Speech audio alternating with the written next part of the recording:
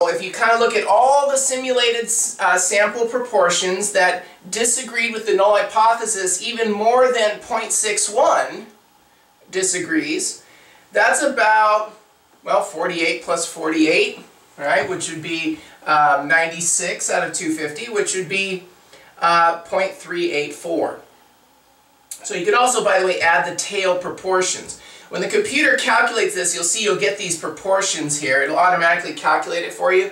But in a two-tailed test, you actually have to add these together. In the old days, we'd also just take the tail proportion and multiply it by 2.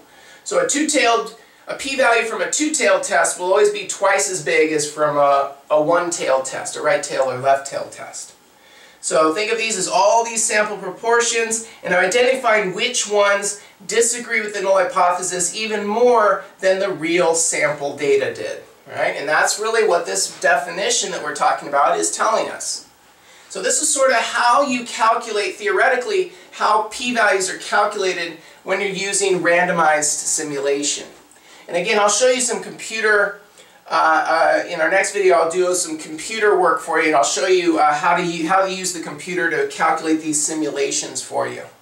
But this is really the direct way of calculating the p-value.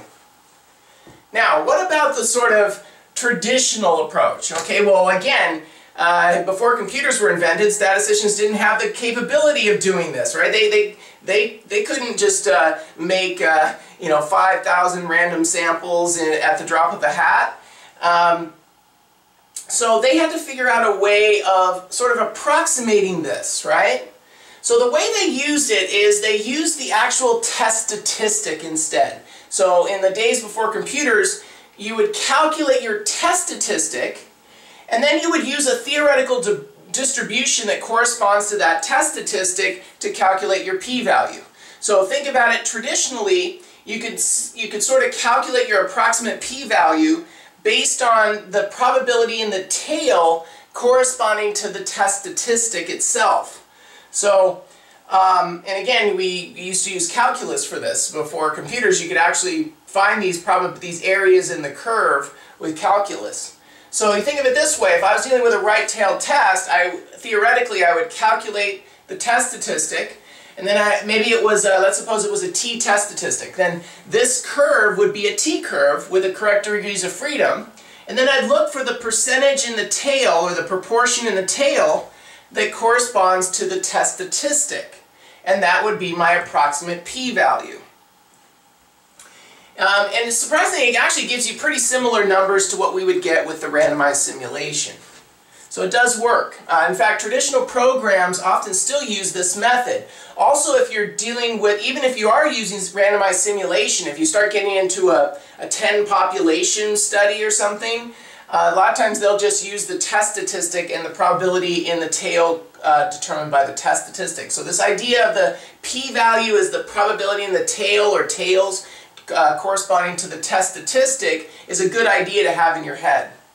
So if this was a left-tail test, uh, then, then I would look for the test statistic would be sort of where it starts, and then that probability in the tail, this area under the curve to the left of the test statistic, would be the p-value if it was a left-tail test. So if this was a z-score curve, right, I'd have my z-score test statistic and then I'd look for the probability to the left of that. Um, and by the way, you can look up these theoretical, uh, using the theoretical distribution um, function in StatKey, you can actually look up these p-values and you can kind of uh, see that they're actually the same as what you would get in a printout from a computer uh, software like StatCato. If it was a two-tailed test, it kind of works the same way. You look at, you, if your test statistic is sort of on the far right, put it there. Your test statistic is on the left, put it there. And then again, it'll calculate the percentage in the tail, but it'll also um, duplicate it on the other side. So you'll get two tails. You'll get a percentage, a proportion from the left tail and the right tail. And you have to add them together to get the p-value. So, um, so I would add these together, and like I say, in the old days what we would do is just find the percentage in the tail, and then we'd multiply that percentage times 2. And that would be our approximate p-value. Okay, so um, nowadays, a lot of times we use this randomized simulation um, in the computer age, and then theoretically, uh, before computers, we, we did a lot of this stuff where we'd use the test statistic itself to calculate the p-value. Now, it's, um, it's really a good idea to have both ideas in your head because you never know which one is going to be used on a problem. Um, but also, let's get into a little bit about how does, how does all this relate together. We have like four key things that we've been looking at. Test statistics, critical values, p-value, and significance levels. Uh, we've already said before that we compare the test statistic to the critical value, and the test statistic would have to fall in the tail to be significant.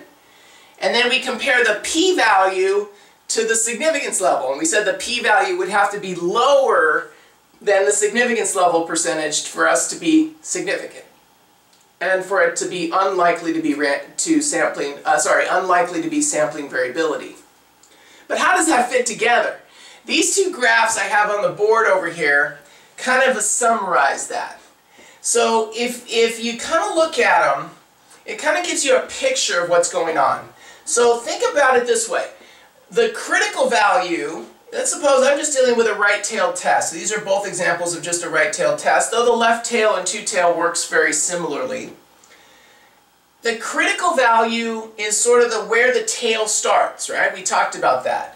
And the percentage in the tail, or the proportion in the tail that corresponds to the critical value, is the significance level you choose. Remember, we were looking at critical values by putting in the significance level percentage in the tail, and the computer would give us the critical value. Now, how does this work? So the test statistic, let's suppose the test statistic fell in the tail. We said that would indicate that the test statistic significantly disagrees with the null hypothesis. Well, if the test statistic fell in the tail, the percentage in the tail that corresponds to the test statistic, the, this uh, little area right here, would be the p-value. And what you can see is the p-value area, I have it designated in orange, but this smaller area over here is actually a lot smaller than the significance level area. So the main takeaway from this is when the test statistic falls in the tail, determined by the critical value, the p-value will be low, will be lower, smaller than the, than the significance level. Those two always go together. So test statistic in the tail, remember it tells me significance, p-value being lower than the significance level also tells me significance. Those go together. Now, what about if the, if the test statistic was not in the tail? So again, this little green area right here is my significance level area. Again, the, where the tail starts is my critical value. Now, now I'm thinking, okay, well what happens if the test statistic did not fall in the tail, right? The test statistic was not significant. The sample data did not significantly disagree with the null hypothesis.